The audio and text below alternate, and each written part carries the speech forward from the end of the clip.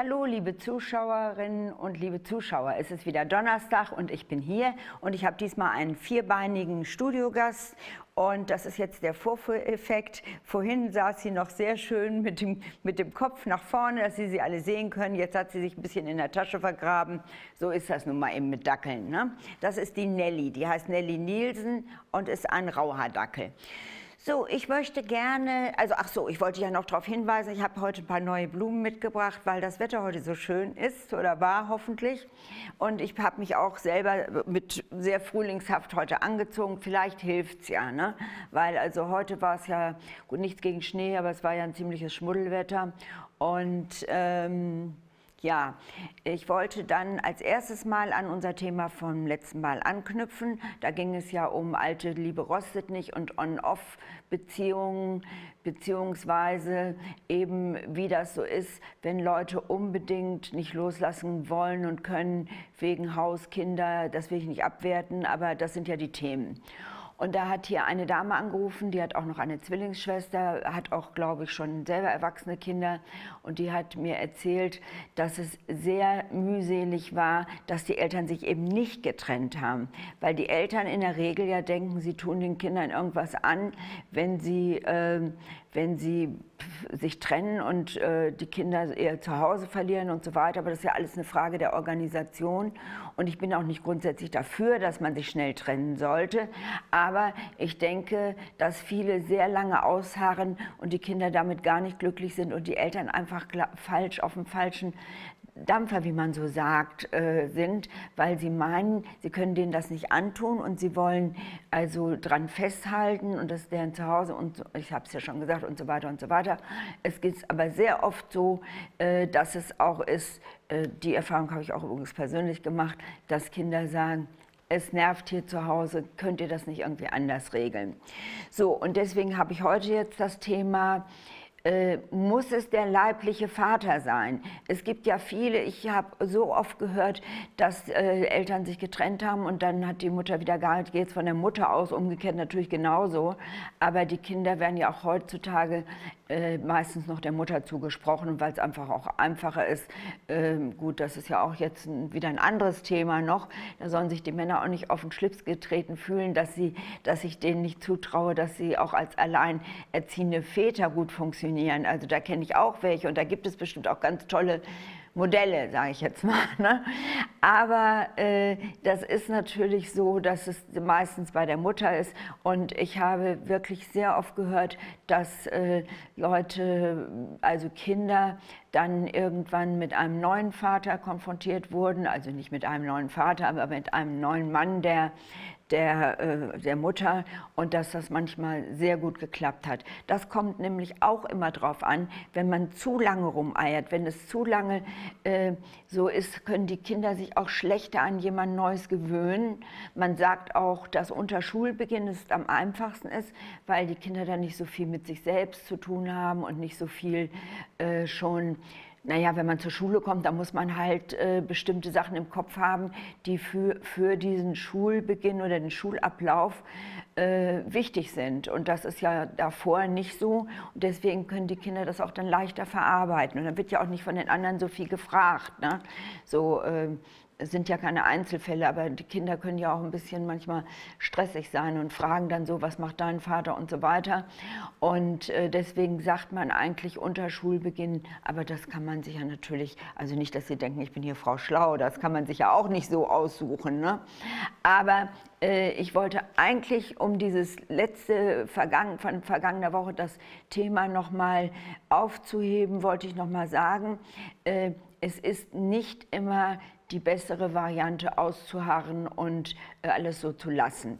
Ich habe heute hier einen Fax bekommen von, äh, nicht ein Fax, eine E-Mail von Nadine und die schreibt, ich muss ab und zu mal dahin kommen, gucken, ne? Entschuldigung, aber nicht, dass die Nelly ja abstürzt, dann kriege ich Ärger. Also noch ist sie ja mit ihrem Knochen beschäftigt und äh, alles gut. Also Nadine schreibt, als sie fünf war, äh, hat ihr Vater sie und ihre Mutter und es gab auch noch eine etwas ältere Schwester verlassen und nach der Trennung, es gab viel Stress und dann war auch okay, die Trennung war, es war nicht einfach, aber nach der Trennung holte uns mein Vater regelmäßig ab und parkte uns bei seiner Mutter, unserer Oma. Also der Vater ist seiner Verpflichtung nachgegangen, hatte aber vielleicht aus beruflichen Gründen oder wie auch immer nicht die Zeit, sich wirklich selber um die Kinder zu kümmern und hat die Kinder dann bei, bei der Oma geparkt. Ne? War ja auch ganz schön, aber die Oma war sehr streng und die mussten immer alles aufessen und, und ja, sie mochten da nicht so gerne sein. Hinzu kommt noch, schreibt sie, dass meine Oma ständig über unsere Mutter lästerte und alles also ihr praktisch in die Schuhe geschoben hat. Ja, das passiert ja auch leicht sowas. Ne? Äh, das ist auch immer, auch zwischen Eheleuten, ein sehr schwieriges Thema, äh, diese Schuldzuweisungen und dass die Kinder dann sich auch schlecht fühlen, weil sie denken, eine hat Schuld und vielleicht habe ich als Kind eben selber auch was damit zu tun.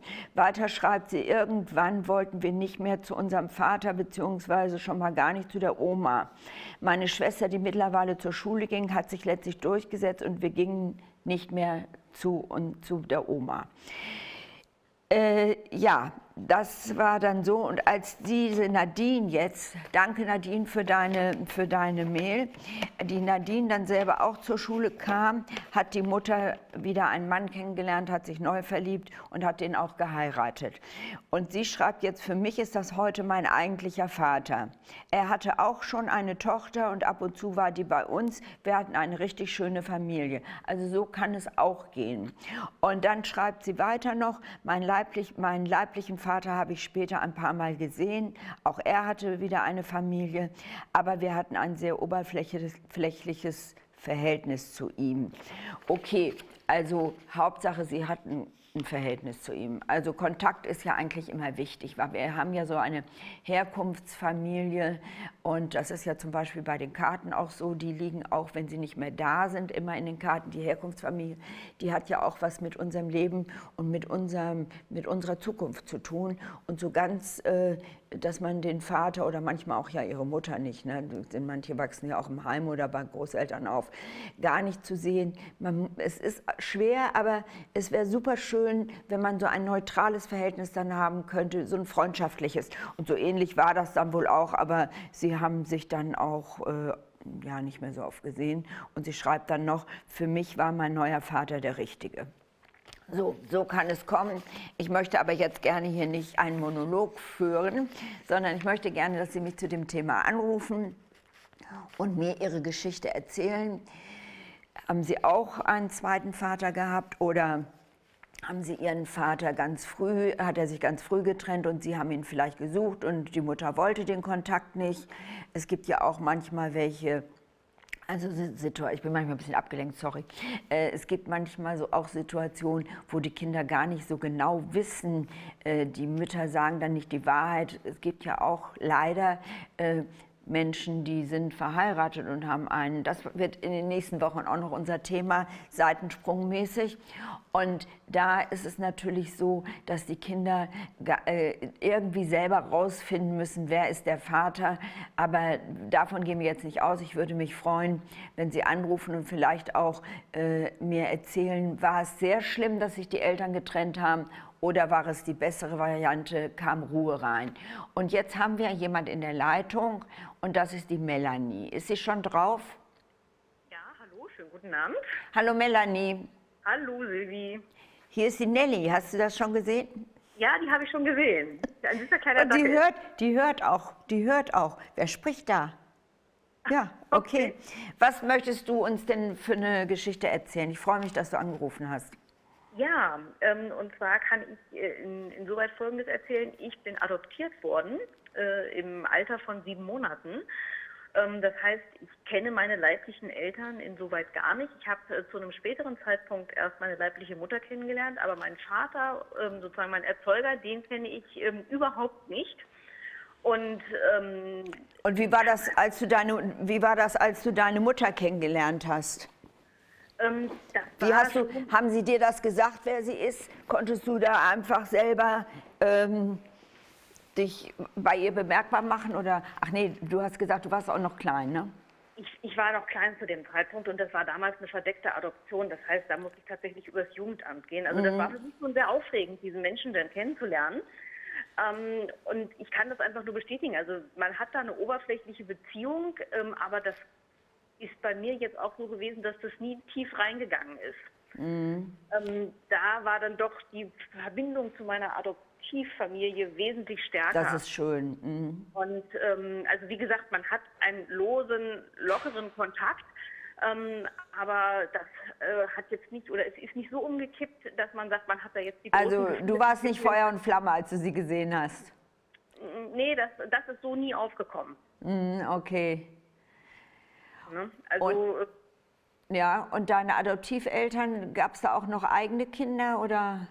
Ja, ich habe eine Schwester, die ist Leipzig, ähm, aber das hat der ganzen Sache so keinen Abbruch getan. Also ich habe zu der ein super gutes Verhältnis heutzutage und ähm, ich möchte sie nicht vermissen. Mm. Und deine, deine Eltern, deine Adoptiveltern leben noch? Die leben beide noch, sind inzwischen aber auch getrennt. Mm, da warst du aber schon erwachsen, oder? Ja, da war ich oh, 30, als die sich getrennt haben. Also, also du, du brauchtest jetzt nicht entscheiden, bei wem du bleibst. Nein, nein, das musste ich nicht. Mm. Das zu dem Zeitpunkt tatsächlich nicht mehr. Ja, aber äh, du siehst, es geht auch so. Aber es, es, ich erlebe das ja immer wieder, dass äh, die Leute ja einmal ihren leiblichen Vater oder ihre leibliche Mutter sehen wollen. Das ist ja auch in Ordnung, dass sie dann auch eben entscheiden können, äh, stimmt die Chemie oder nicht. Ne? Genau. Also ich finde es grundsätzlich schade, dass ich halt meinen leiblichen Vater bisher nicht kennengelernt habe. Meinst du denn, dass er noch lebt? Das kann ich nicht. Also ich, ich, ich vermute mal ja, aber ähm, ich weiß halt nichts über diesen Mann und äh, ich bekomme da auch keinerlei Informationen. Ich finde es persönlich ein bisschen schade, weil ich würde zumindest gerne die Gelegenheit haben, ihn einmal kennenzulernen. Würden deine Eltern das denn unterstützen? Fänden die das gut? Ja, also ich sag mal so, ich weiß, dass sie damals, ähm, dass ich mit denen darüber gesprochen habe, dass ich halt meine leibliche Mutter suchen möchte und mhm. das auch tun werde. Ähm, natürlich waren sie im ersten Moment erstmal ein bisschen äh, geschockt, mhm. ähm, aber im Nachhinein haben sie es absolut verstanden und nachvollzogen. Mhm. Ähm, du, du hast keine Anhaltspunkte, wo du den, deinen Vater finden kannst? Nein, leider nicht. Müsste dann heute im Zeitalter von Internet und so, kann ich mir das sehr schwer vorstellen. Ne? Äh, Jugendamt hast du sicher versucht. Jugendamt habe ich versucht. Äh, der Name des Vaters ist nicht angegeben. Ähm, der ist insoweit auch nicht bekannt und ähm, ja, für mich nicht zu ermitteln. Und von also hat er quasi damals die Vaterschaft nicht anerkannt? Kann ich nicht sagen. Mhm. Also ich habe mal eine, äh, einen Fall gehört, da hat äh, die, eine Frau auch, äh, glaube ich, ihre Mutter gesucht und da hat sie, also da in dem Ort, wo sie geboren ist, sie war irgendwie hier Hannover Landkreis, äh, kleinerer Ort, da, da äh, hat, sie, hat sie den Pfarrer gefragt und da gab es so, die hatten so Kirchenbücher, wo irgendwas so eingetragen war, aber ich glaube, das ist dann mehr bei der Mutter als bei dem Vater, ne, wahrscheinlich. Ja. kann natürlich sein, ja. Mhm. Ja, aber ich habe ja selber in meiner Familie auch solche Sachen. Also ich äh, bin nicht adoptiert, aber meine Mutter war adoptiert und das erzähle, das erzähle ich dann gleich nochmal weiter. Ich will erst nochmal mit dir jetzt äh, kurz reden. Wie, darf ich mal fragen, wie alt du bist? Äh, ich bin 50. Du bist 50, okay. Mhm. Und ähm, dein, also zu wem hast du das bessere Verhältnis von deinen Adoptiveltern? Äh, zu meinem Vater, definitiv. Mhm. Wie ist das denn gekommen, wenn die schon eine Tochter, ist deine Schwester jünger oder älter? Die ist älter als ich und ähm, man hat meiner Adoptivmutter damals wohl ans Herz gelegt, äh, nicht noch eine zweite Geburt ähm, sozusagen zu haben, ähm, weil es wohl gesundheitliche Risiken gab. Okay. Und ähm, ja, also war das nicht irgendwie komisch, dass du. Ach so, ja, jetzt habe ich, Entschuldigung, habe Faden verloren. Der Hund ist ja jetzt auf Tournee, der ist jetzt hier nicht mehr im Studio. Äh, ich hoffe, es geht ihm gut. Äh, sag mal, die, das wollte ich jetzt gerne noch mal von dir wissen. Äh, wie hast du denn. Ähm, also Sie haben dir das erzählt äh, oder hast du das gemerkt oder du warst ja noch, was hast gesagt, sieben oder so.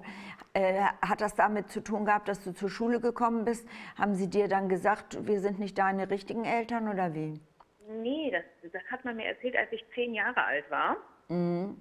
Ähm, das kam eigentlich mehr durch einen dummen Zufall raus, als, als dass es sozusagen tatsächlich beabsichtigt gewesen mhm, wäre. Das ist ja oft so, ne? Mhm. Ja. Genau, und ähm, natürlich war es für mich zu dem Zeitpunkt erstmal ein Schock und ich habe da tatsächlich ein bisschen gebraucht, ich das irgendwie so für mich ähm, verarbeitet hatte. Ähm, aber im Nachhinein, ja, kann man da jetzt anklagen oder nicht anklagen? Wann ist der richtige Zeitpunkt ja, genau. da, um Ganz jemandem genau. so etwas mitzuteilen? Ich denke mal, Sie haben da nach bestem Wissen und Gewissen gehandelt. Mhm. Und ähm, also ich bin da mit mir im Reinen und, und mache da keinen Vorwurf draus in irgendeiner Art und Mhm. Weise.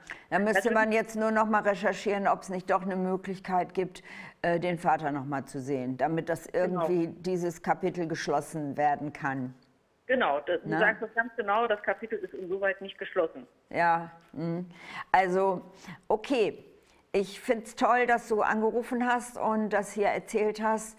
Und äh, äh, hoffentlich hast du jetzt auch welche ermutigt, da auch nochmal drüber zu sprechen. Und äh, dann drücke ich dir die Daumen. Vielleicht passiert ja noch ein Wunder, ne? Ja, vielen Dank. Alles klar. Vielen Dank. Tschüss. Tschüss. Ja, das ist natürlich auch nicht so einfach, das hier so zu erzählen, aber sie wird ja nicht gesehen, sie kann ja anonym sein.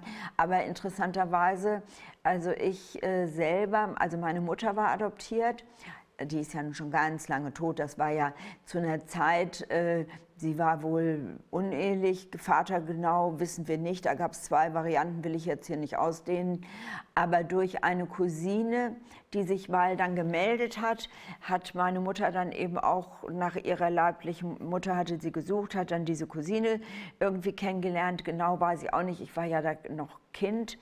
Und dann äh, wollte sie da unbedingt die Frau sehen, also meine leibliche Oma. Und äh, sie war da mit meiner jüngeren Schwester schwanger und wir beide sind dann nach Hamburg gefahren. Ich habe das gar nicht, äh, ehrlich gesagt, gar nicht so verstanden, was das jetzt für eine Frau und was sie da wollte. Und, und ich hatte ja eine Oma, also die Adoptivoma, die wohnte im Sauerland, in Altena wohnte die und da waren wir auch in den Ferien und das war für mich eigentlich meine Oma, meine Oma. Und äh, dann bin ich mit meiner Mutter nach Hamburg gefahren und das war auch ein einmaliges Erlebnis. Also die, wir standen da so in der Küche, ich kann mich noch genau erinnern und dann hat sie mir eine Banane gegeben. Ne? Also ich war äh, knapp sieben, also meine Schwester war unterwegs und das war das einzige Mal. Also wir haben da nicht drüber gesprochen. Ich habe sie natürlich auch nicht gefragt. Ich, ich habe es ja selber kaum verstanden.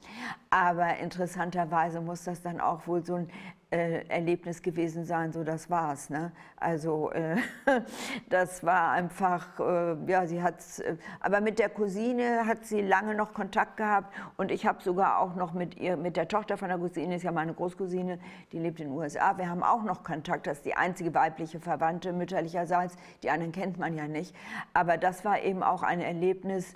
Das hätte man sich schenken können, aber äh, meine Mutter war zufrieden, dass sie es eben einmal rausgefunden hatte und einmal, dass sie die einmal gesehen hatte. So, das habe ich jetzt erzählt und es ruft keiner an. Das geht ja gar nicht. Rufen Sie doch mal an unter Hannover 36 70 170. Und Sie können ja anonym bleiben und mir Ihre Geschichte erzählen. Sie können mir auch irgendeine andere Geschichte erzählen, wo Sie vielleicht mal so einen kleinen Ratschlag haben wollen oder wo Sie in der Sackgasse sind. Äh, Man weiß ja, dass man anderen immer gute Ratschläge geben kann. Es ist ja nicht unbedingt, äh, muss keine große Geschichte sein, aber vielleicht auch, äh, wir haben ja dieses Thema jetzt abgeschlossen. Wir wollen das, wollen das ja nicht über mehrere Sendungen ziehen. Aber das war mir nochmal wichtig, an, also angeknüpft an der anderen Sache da mit den erwachsenen Zwillingen. Und äh, ihr könnt mir jetzt aber gerne auch irgendeine andere Geschichte erzählen oder mir sagen, wie es euch gerade beruflich geht, ob ihr zufrieden seid, ob ihr mal eine neue Herausforderung braucht, etc. Wir haben ja jetzt am 21. März, das ist ja nun nicht mehr lange, das sind ja, glaube ich, elf Tage von jetzt an. Und dann haben wir ja Frühlingsanfang und nicht nur das. Ich habe heute auch im Fernsehen sowas gesehen über verschiedene Kalender, julianischen Kalender, gregorianischen Kalender, astrologisch und so weiter. Äh, da beschäftigen sich ja viele nicht mit, aber wenn man mal ein Horoskop liest, dann weiß man ja, dass das Horoskop nicht mit Januar, mit, mit dem Sternzeichen Steinbock anfängt, wie es ja sein müsste, sondern ähm, mit Widder. Und Widder fängt ja jetzt am 21. März an. Und äh, dann haben wir ein, ein neues Jahr. Ne? Es gibt auch in verschiedenen Ländern am 21. März Neujahr, wäre ja auch viel schöner gewesen, Frühlingsanfang, wenn dann die Krokusse schon mal durch den Schnee kommen. Das ist ja schöner als am 31. Dezember, aber gut, da kann man nichts dran machen. Der Kalender stimmt nicht. Und äh, alle, die jetzt so in den, in, dem erst, in den ersten fast drei Monaten Stress hatten irgendwie und wo es nicht so gut lief, kann ich jetzt mal sagen, äh, es wird jetzt generell für alle besser. Da könnt ihr euch jetzt äh, guter Hoffnung sein, ne? guter Hoffnung, dass dann äh, alles wieder ein bisschen einfacher wird. Jetzt die Tage ist ja wieder sehr viel passiert, viele schlimme Sachen und ich wünsche mir natürlich auch sehr, dass das mit dem neuen Jahr, mit dem Jupiterjahr dann auch äh, ein neue, also ein Wendepunkt ist, dass wir von Saturn, das ist so die Bremse und auch so, ein, so eine Stagnation und, und dann kommen wir in eine bessere Phase. Und alle, die Jupiter sind, das werde ich dann nach diesem Jahreswechsel auch hier nochmal erzählen. Äh, das kann man sich nämlich ausrechnen. Jupiter hat nämlich die Nummer 3, das heißt 3, äh, also zum Beispiel 12 hier spuckt 12 wäre auch die 3, also die Quersumme muss die 3 sein. 12, äh, 21 oder direkt die 3 oder die 30, dann nimmt man die 0 weg. Wer aus seinem Geburtsdatum so ausrechnet jetzt, ähm, also sagen wir mal beispielsweise 25.06. 1973. Ne? 73, das weiß ich aus dem Kopf, das ist Jupiter. Das, da da gibt es ja so Listen, da könnt, die habt ihr jetzt nicht. Aber das mit der Quersumme könnt ihr natürlich gerne selber machen.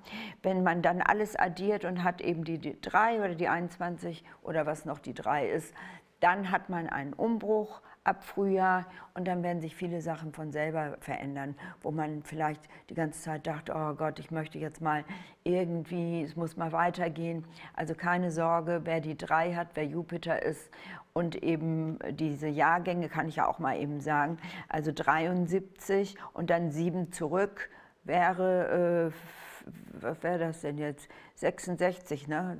So, und dann immer, machen wir mal so, fangen wir mal an mit mit 66, das war ein Jupiterjahr, und dann immer sieben Jahre vor und sieben Jahre zurück. Wenn ihr das so ausrechnet, dann wisst ihr, bei euch wird ein bisschen was Neues passieren. Umbrüche sind natürlich nicht immer toll. Es gibt auch Umbrüche, wo man jetzt mal ein bisschen gezwungen wird, was zu verändern. Ne? Der Mensch hat ja eine angeborene Angst vor Veränderungen und manchmal muss man ja auch zu seinem Glück gezwungen werden.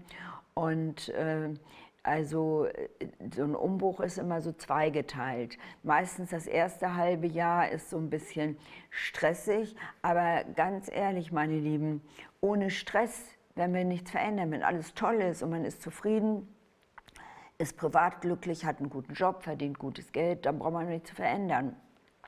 Aber wenn man meint, es geht nicht mehr weiter, dann ist meistens bei so einem Umbruch das erste halbe Jahr so sehr stressig, ne? wo ich da manchmal ganz gemein bin und zu den Leuten sagen, sage, die geht es wohl noch nicht schlecht genug, du musst jetzt mal was ändern. Und die, das zweite Halbjahr, das ist dann meistens schon so, dass man vielleicht schon woanders angefangen hat oder dass man jetzt äh, schon sich getrennt hat oder jemand kennengelernt hat. Und dann kommt die, die positive Hälfte und die geht ja dann immer noch ins nächste Jahr rein, also nicht bis zum 31.12., wie man annehmen sollte, sondern die geht ja dann äh, bis zum 21. März wieder. So, jetzt habt ihr ein bisschen Input, da könnt ihr euch jetzt mal selber ein bisschen das ausrechnen und motivieren. Und ich hoffe, dass jetzt mal jemand anruft, ganz egal zu welchem Thema. Ich habe mir überlegt, ich hatte ja jetzt die letzten Sendungen auch immer so ein bisschen schwierige Themen. Ich weiß also vom Feedback her, dass sehr viele zuhören oder zuschauen, besser gesagt. Und das sind ja nicht dieselben, die anrufen. Ne? Ich meine, ich kann es ja verstehen. Wir sind ja hier in Hannover und wir sind ja hier nicht äh, weltweit so, dass, es, dass man, äh, man wird ja dann vielleicht auch mal an der Stimme erkannt. Da haben manche Probleme mit, das verstehe ich auch. Deswegen könnt ihr mir ja auch eine E-Mail schicken unter Silko, wie ich geschrieben werde, S-Y-L-K-O, Silko silvi-collin.de und dann hab ich ja, habt ihr ja gehört, kann ich das auch vorlesen und eben meinen sozusagen Senf dazu geben. Ach, da kommt jetzt Nelly wieder. Komm mal her, Nelly. Ja, das ist auch nicht ihre, ihre Uhrzeit unbedingt. Naja, auf jeden Fall, äh, so ist das mit den Umbrüchen. Und ich habe mir jetzt überlegt, ich hatte jetzt diese schwierigen Themen, werde ich auch immer mal wieder nehmen, weil das sind ja auch die Themen aus dem Leben. Ne?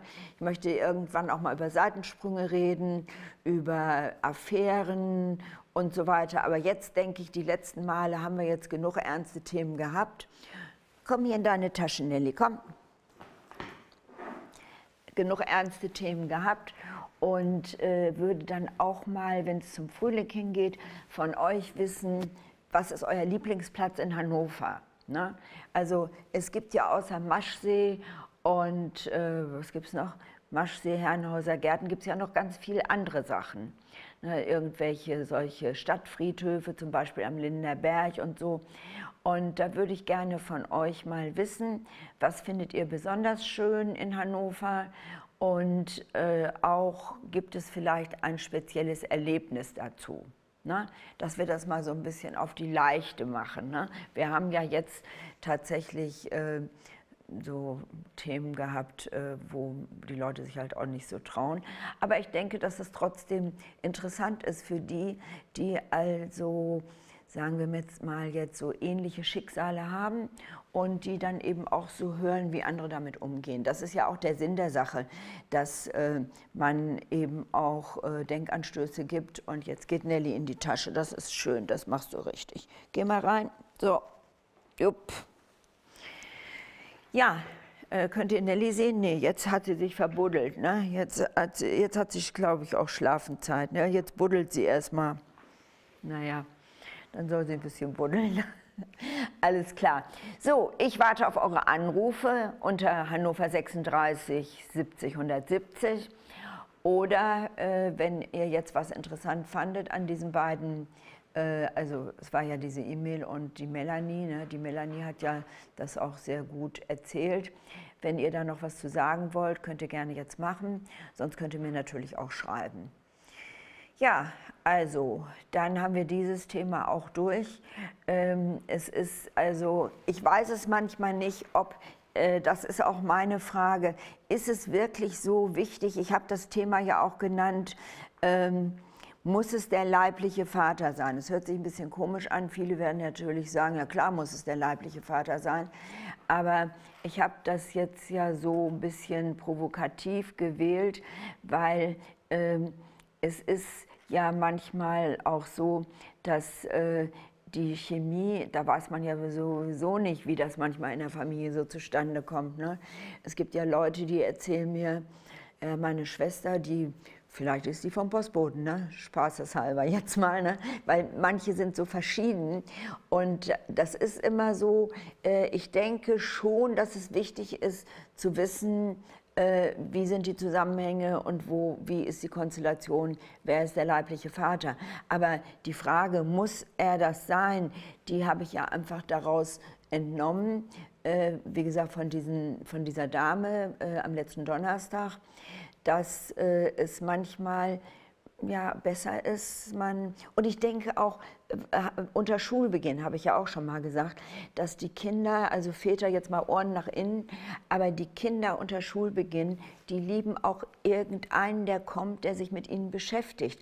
Das ist, da kommt dann auch ein Zugehörigkeitsgefühl. Ich glaube, dass einem Kind äh, zwischen, also bis fünf oder sechs Jahren, das egal ist, ob das jetzt der Erzeuger ist oder ob der jetzt nett ist, was mitbringt und mit mir spielt. Ne? Also deswegen habe ich so dieses Thema gewählt aber ich sehe schon, ihr traut euch da nicht so richtig. Ne? Ja, also ich hatte ja ähm, vorletztes Mal Martin Jürgensmann mit hier. Äh, der ist ja jetzt Chance bei NDR 1. Früher war er ja Rana von Sigi und Rana. Uralte Comedy, sehr bekannt in Hannover, sehr beliebt gewesen. Er spricht ja dieses Hannöversch, ne, nach den 18 und so. Und da haben ja auch äh, einige Leute äh, geguckt und auch geschrieben, dass sie das toll finden, weil wir haben ja früher zusammengearbeitet. Wir machen ja auch noch unsere eigene Show und äh, haben viele geschrieben, dass es äh, sehr unterhaltsam war und dass es äh, ganz gut war. Und deswegen, ich nehme ja jedes dritte Mal einen Talkgast äh, hier laden wir einen Studiogast ein, das heißt H1 lädt den dann ein und äh, da habe ich jetzt äh, demnächst eine Dame, die ist Schirmherrin von einem Verein hier in Hannover und äh, da machen wir das dann, werden wir da mal ein bisschen drüber reden, ne? was man so machen kann. Und es gibt ja sehr viel. Und wenn ihr da Anregungen habt, wo man jetzt, ich hatte ja in der ersten Sendung, oder was war es nicht die erste oder die zweite, es, es geht ja jetzt sehr schnell, ne? da hatte ich ja das mit dem mit der Einsamkeit oder Langeweile im Alter. Und da haben wir ja nun auch schon, da habe ich auch Feedback gekriegt, da haben wir auch Vorschläge gemacht. Und dann habe ich ja äh, immer, fange ja immer mit meiner To-Do-Liste an.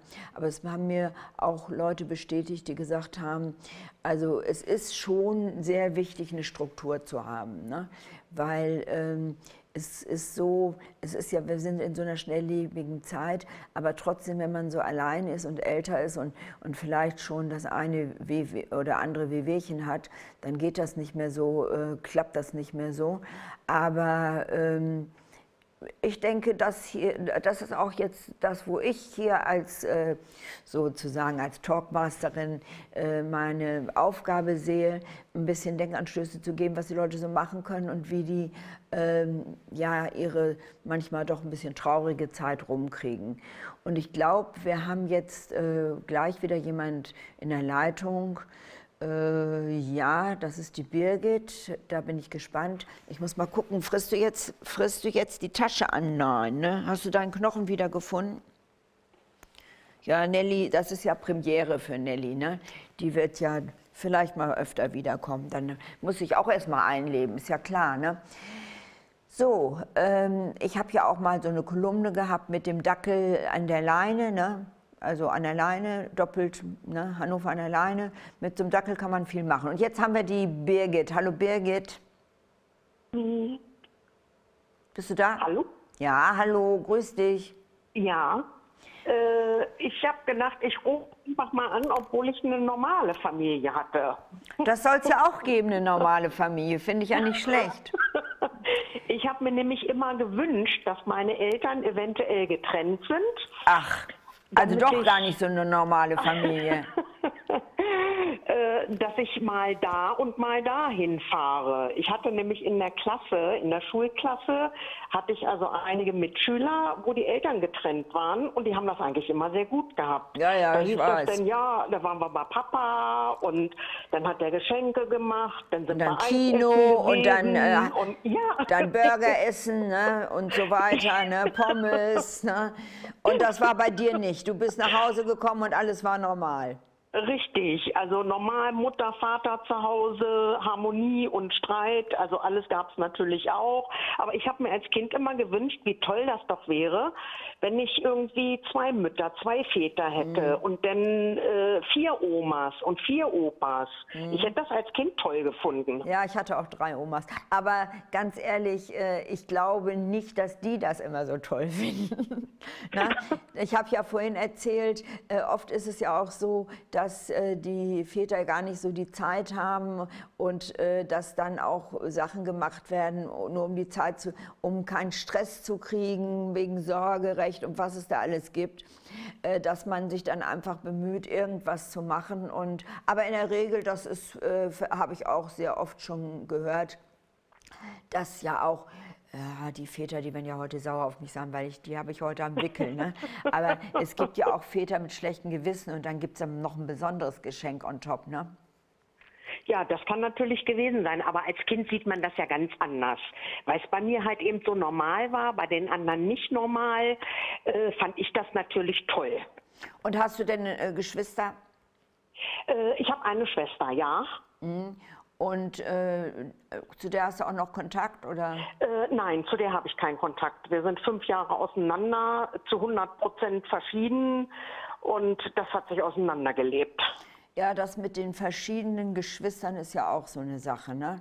Also da habe ich auch, ich weiß auch nicht, wie das kommt, dass sie da alle so, meistens sehen sie sich ähnlich, aber sie sind sich nicht ähnlich. Ne? Aber Also sag uns, mal, wir haben uns gar nicht ähnlich gesehen, null. aber ich sag mal, dunkle Haare, sie helle Haare, ich Locken, sie keine Locken und Größenunterschiede, alles unterschiedlich. und warum hast du keinen Kontakt mehr mit ihr? Äh, wir sind in unserer Denkweise zu 100 Prozent unterschiedlich. Das passt einfach nicht. Mhm. Das äh, gibt immer nur Konfliktpotenzial, hat es also auch gegeben. Es hat auch mehrmals gerumst und immer wieder Vereinigungen. Und, äh, aber irgendwann muss man also einen Schlussstrich ziehen. Entweder will man damit leben, mit den ewigen Konflikten, oder man sagt, ich lasse es. Ja, aber jetzt muss ich natürlich auch mal da einschreiten und sage, Du hast eben eine glückliche Kindheit gehabt, eine richtige Familie. Bei dir waren keine Trennung, kein äh, Papa macht am Wochenende das mit mir und bringt mich dann wieder nach Hause. Und trotzdem hast du jetzt keinen Kontakt zu deiner Schwester. Da ist ja dann doch auch irgendwas ein bisschen schief gelaufen.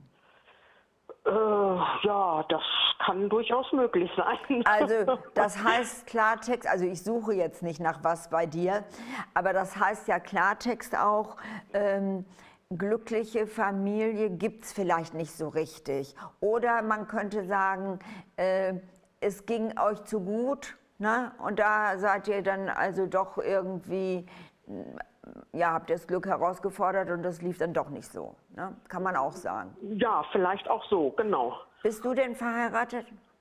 Äh, ich war verheiratet, mein Mann ist gestorben. Mm, okay. Und ähm, jetzt bist du sozusagen, mag das Wort ja nicht so gerne, aber du bist alleinlebend, ne? Ja, genau. Hast du ein Kartenspiel? Äh, ich habe keins hier, nein. Das ist aber schade. Jetzt wollte ich endlich mal wieder ein bisschen so die Karten ins Spiel bringen. Aber du hast keins hier. Wieso bist du nicht zu Hause, oder was? Äh, doch, ich bin zu Hause, aber ich weiß jetzt nicht, wo ich es habe. Ich besitze eins, aber ich weiß jetzt nicht, wo ich eins liegen habe. Das ist schade. Hast du eine sehr große Wohnung oder könntest du mal eben gucken? Ich kann ja in der Zwischenzeit. Äh, ich könnte mal eben gucken. Ich könnte ja in der Zwischenzeit auch durchaus weiterreden. Ne? Ja, oder genau, ich so könnte mir mal selber eine. Ich könnte in der Zwischenzeit mir mal selber eine Karte ziehen. Ich habe nämlich ganz viel vor in der nächsten Woche. Und dann ziehe ich mir mal selber eine. Oh ne, die ist ja schwarz. Nee. Also die ist, das hat was mit Tränen zu tun. Jetzt ziehe ich einfach noch mal eine. Das ah, ist auch eine schwarze, aber das ist die Reisekarte. Und ich fahre nämlich nächsten Mittwoch weg. Und ich kann mir schon vorstellen, weil das ist Richtung NRW und dann habe ich diese okay. Kreuz 10 und die Herz und, und die, die Kreuz 10 und die Kreuz 7. Das wird wahrscheinlich eine anstrengende Reise entweder Stau oder irgendwo Streik oder sowas. Ne? Hast du schon gefunden, die Karten? Nee, ich habe ja Kartenspiele schon gefunden. Oh Gott, das ist ja furchtbar, ne? Also, also du kannst ja einfach eine Karte rausziehen. Wenn das jetzt so ein Rommi-Spiel oder irgendwas anderes ist, dann äh, ziehst du einfach noch eine. Ist ja nicht so schlimm. Ja, so eins habe ich. ja, dann zieh mal. Ja. Weil wir wollen ja jetzt mal gucken, was bist du denn für ein Jahrgang? Bist du auch Jupiter oder was bist du? Äh, nein, ich bin Jahrgang 60. Dann bist du Mars. Okay, das ist dann nächstes Jahr. Also jetzt, 21. März ist ja, also ich bin ja noch in 22, ganz kurz jetzt. Und dann ja. kommt ja Jupiter und am, am 21. März 24 kommt Mars. Und dann bist du wieder durch sieben teilbar. Und dann möchte ich jetzt eine Karte haben. So, ich habe die Herz 10. Ja, ist ja die Hochzeit, aber es muss nicht deine eigene sein. aber das heißt ja so Happy End, ne? Also wenn ich jetzt äh, mir überlege, dass du ja, äh, wie alt wirst du nächstes Jahr? Äh, ich werde dieses Jahr 63. Ja, aber das zieht sich ja durch die Verschiebung, äh, Kalenderverschiebung hin. Und 63 ist ja auch durch sieben teilbar, ne? 49, ja. 56, 63. Und äh, mit der Herz 10, das sieht sehr gut aus. Kannst du noch mal eine ziehen? Ja. Die Karo 10. Boah, Geld. Also Liebe, Liebe und Geld das ist ja nicht schlecht. Dann hätte ich jetzt gerne noch die Pik 10. Das wäre dann noch ein bisschen Arbeit. Oder kriegst du das Geld ohne zu arbeiten? So, mal gucken. Oh nein, die Pik 7 habe ich. okay, dann machen wir jetzt noch mal eine on top, weil diese Pik 7, die ist... Ähm, ja, nicht die so ist jetzt auch nicht schlimm, aber auch Verzögerungen. Ne? Also noch okay. ist das ja auch nicht da. Ich habe ja gesagt, dass es jetzt erst äh, noch mal ein Jahr dauert, bis diese Veränderungen kommen bei dir. So, dann habe ich den Karo-König. Das ist einmal Arzt oder so Steuerberater, Rechtsanwalt, da hast du irgendwas mit zu tun. Äh, aber das ist jetzt nicht schlimm, weil das ist einfach eine Person, in einer gehobenen, äh, eine Person in einer gehobenen Position, die dir behilflich ist. So, wir haben jemand in der Leitung, du ziehst schnell noch mal eine. Eine ganz schnell noch, so, das ist der Herzbube. Ja, das verwechseln ja viele. Die denken, oh, wow, der Herzbube, es muss ja der Herzkönig sein. Aber eins sage ich dir schon mal, ne, du wirst ja dann 63, aber den, den du kennenlernst, der ist mindestens zehn Jahre jünger. Ja, das ist ja auch nicht schlecht. Nimmst du, ne? ja, nehme ich. Okay, Birgit, dann äh, machen wir mal Schluss. Ich freue ja. mich, dass du das erzählt hast mit der heilen Familie. Das beruhigt uns alle auch sehr. Ne? Und äh, Birgit, dann alles Gute und vielen Dank für den Anruf. Dankeschön. Tschüss. Tschüss. So, jetzt muss ich mal eben nach Nelly. Nelly ist jetzt im Tiefschlaf, das finde ich auch schön. Sie hat sich jetzt hier ins Studio, ins Studio eingewöhnt, dann kann, darf sie auch mal wieder mit. So, dann haben wir jetzt jemanden in der Leitung, das ist Norbert. Ähm, ja, gut, dann könnte ich den ja mal fragen, was er für Probleme hat. Norbert? Ja, hallo.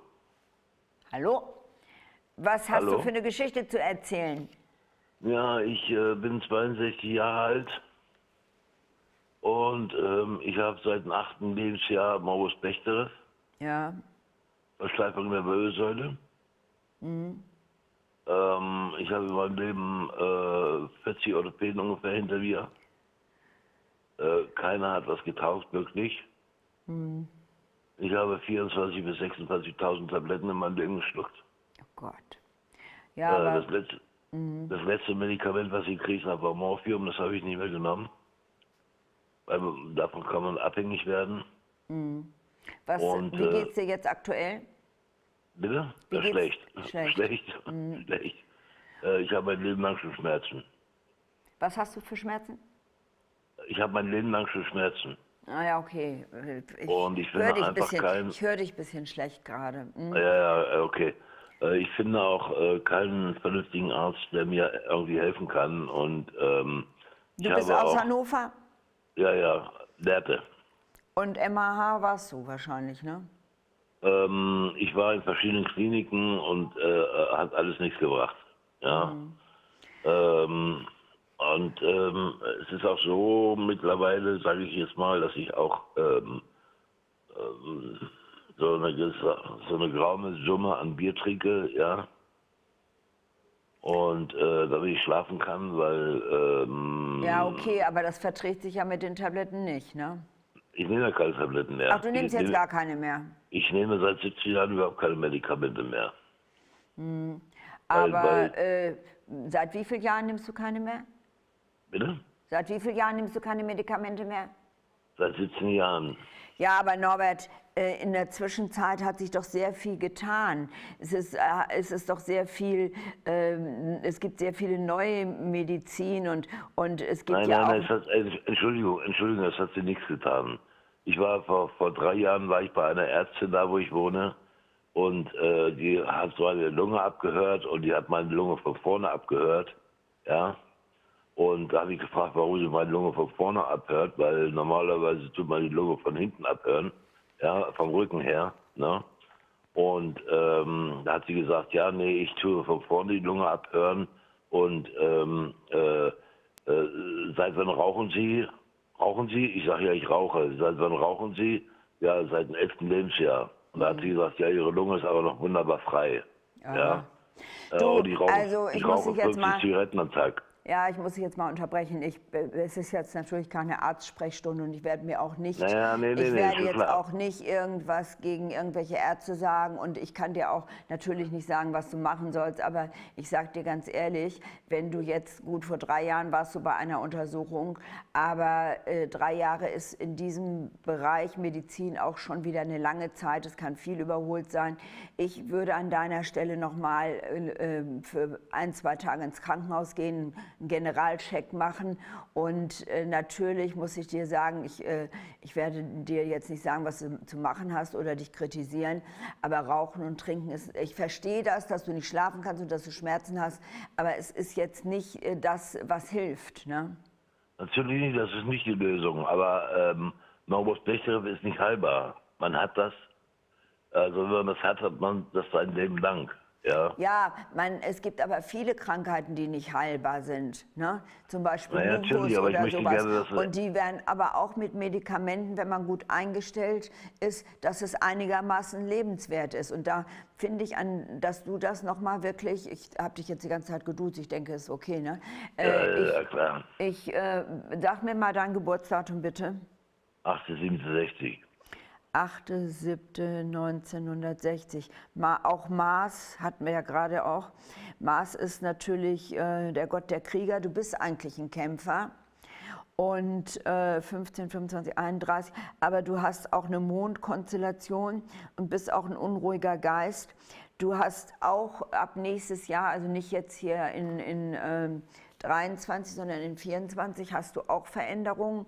Und ich kann dir nur, also dann bist du ja auch äh, in diesem Modus, dass du ja durch sieben teilbar bist und äh, vielleicht äh, wird sich da noch mal was verändern. Also die Hoffnung stirbt ja zuletzt. Ich würde noch mal eine Untersuchung machen. Mehr kann ich dir nicht sagen. Und dann, Okay. und dann kann ich dir nur die Daumen drücken. Ich bin immer so, dass ich denke, irgendwie geht noch was. Ne? Und Naja, ich kann, ich kann halt kaum noch laufen und so, ne? Ja, ich, äh, also das geht von der Hüfte ab in, in die, bis, bis in die Füße rein. Und äh, das ist ja nun gerade mal das, das Be der Bewegungsapparat, um laufen zu können. Ne? Und äh, das wird immer schwieriger. Naja, egal. Ich danke Ihnen, dass Sie mir zugehört haben. du kannst mich auch duzen. Ich, Ja, äh, ich danke, freue mich, ich danke wenn, dir. wenn ich ich dir ein ich sehe bisschen... dich am Fernsehen, du bist eine tolle Frau, ja, äh, sage ich jetzt mal so, ja. Ähm, das, was ich jetzt sehe. Und ähm, ja, äh, danke dir, dass du mir Norbert, zugehört alles hast. Gute und bitte gib nicht auf, kümmere dich noch mal um eine, um eine Untersuchung oder vielleicht Schmerztherapie oder noch mal in eine Klinik, wo sie noch mal alles durchgehen. Gut ist es nicht heilbar, aber vielleicht haben sie ja was zur Erleichterung. Alles klar, ich danke dir recht schön und wünsche dir alles Gute. Ja, Danke, tschüss. ja tschüss.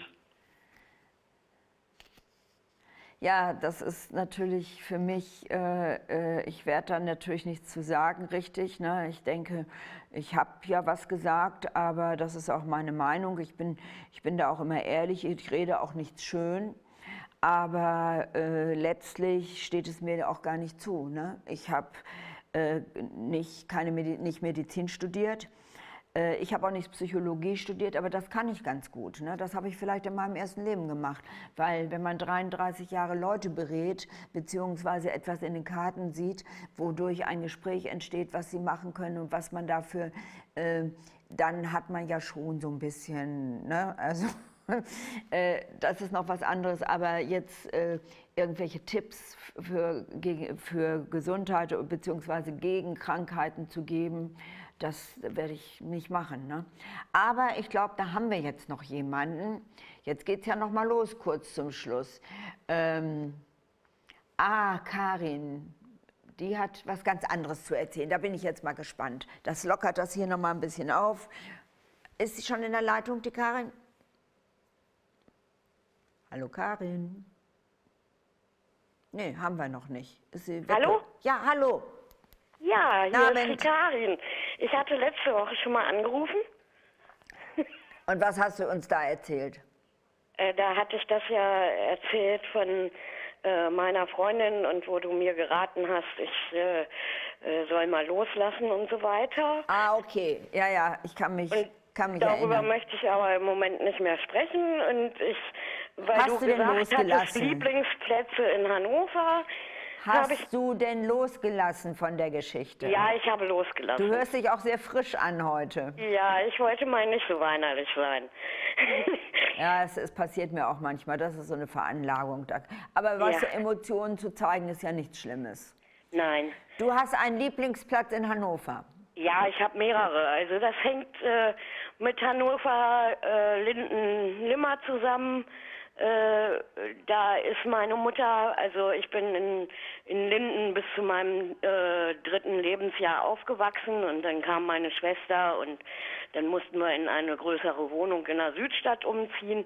Aber ich habe diese Liebe zu Linden nie verloren Ich lebe jetzt seit 2006 in der List und da kann man ja wunderbar mit der Linie 9 gleich durchfahren dorthin, mhm. ohne umzusteigen. Mhm. Und ich war gestern mal wieder in äh, Lindenlimmer äh, auf dem Faustgelände, ja. weil ja ähm, äh, Weltfrauentag war mhm. und habe da mit den Kaga-Frauen in der Warenannahme gefeiert.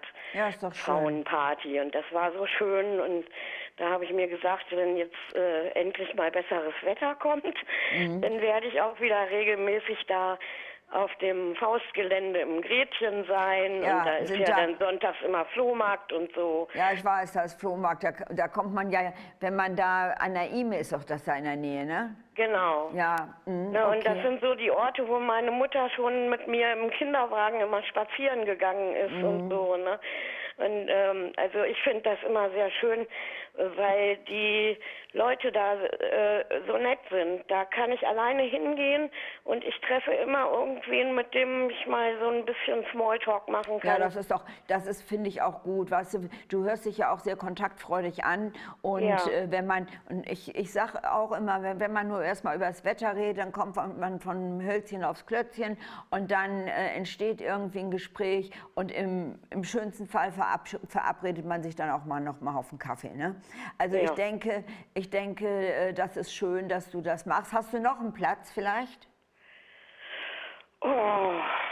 Wie findest da muss du denn? Ich länger überlegen. Ja, so die Leinematsch, ne? Aber da wollen sie ja auch alles mit Autobahn vollbauen und so. Das finde ich so schade, dass da irgendwie, äh, ja, dass das eigentlich hoffnungslos ist, dass das da jetzt alles abgeholzt wird. Ja, das weiß ich jetzt nicht so genau, aber äh, dafür wird ja unsere Innenstadt äh, immer äh, autofreier und ich wohne direkt in der Innenstadt, ich wohne direkt hier um die Ecke, habe vier Minuten zu Fuß Mhm. Und äh, das ist natürlich dann wieder so eine Sache, äh, das ist ja auch schön, wenn die anderen aus, von außerhalb in unsere Innenstadt kommen und da fahren keine Autos mehr, die können da flanieren.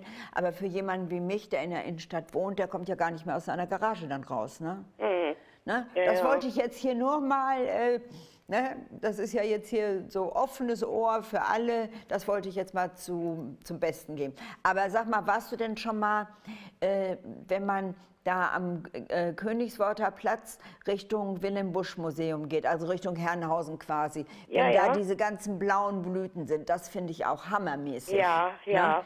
Das ist auch, das sieht so schön aus und das ist eben auch nicht das Übliche, wo alle immer sind. Ne? Mhm. Die sind ja immer alle, naja, nicht, im, ja, nicht auf dem Faustgelände, sondern mehr Matschsee und Herrenhausen. Ja, das ist doch da schön. Ja, da ist dann ne? immer gleich so proppenvoll. Ich wohne ja auch ähm, in der List direkt am Kanal und da finde ich es manchmal zu voll, spazieren zu gehen, wenn es so äh, gut wo ist. Das, ist. Wo ist das denn in der List am Kanal? Da beim, beim Lister Frei? Hinter dem Pelikangelände. Ach, da. Mhm. Ja, da kriegt man und ja da wohne ich direkt am Kanal und, und also da ist mir manchmal wirklich zu voll zum Spazierengehen.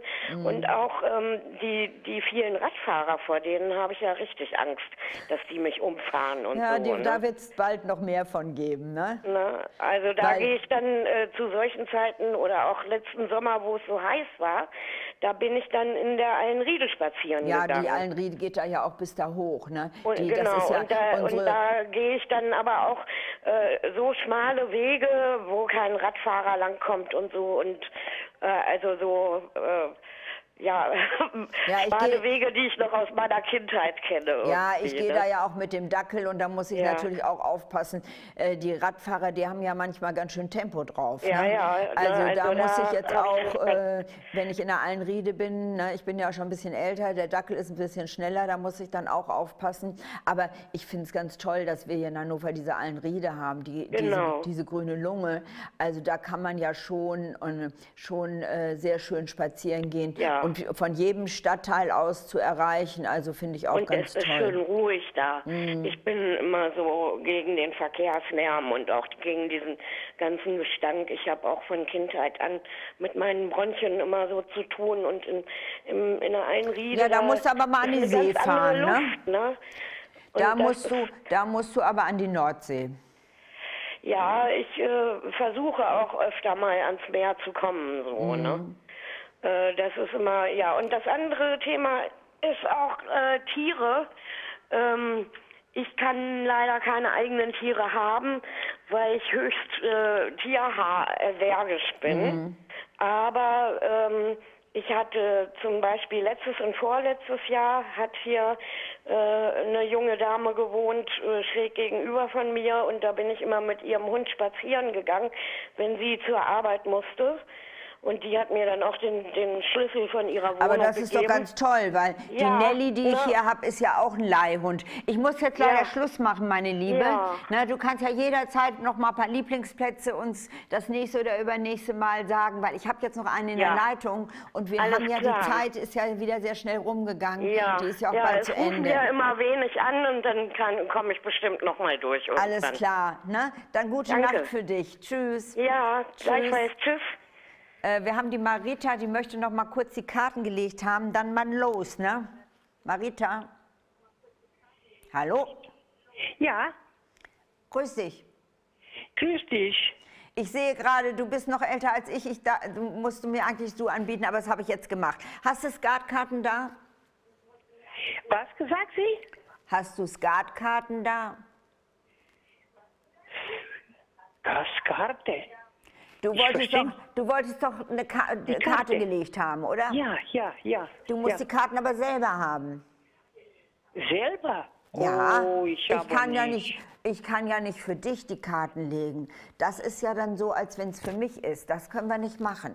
Also jeder muss selber mischen und selber die Karten ziehen und sie mir dann sagen und dann sage ich dir das. Aber du kannst ja auch gerne nochmal anrufen.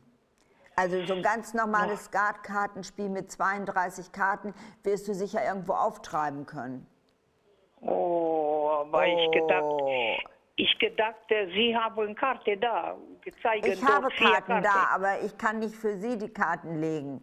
Sie müssen sie selber legen. Ich kann Ihnen eine Karte, eine Karte kann ich Ihnen anbieten.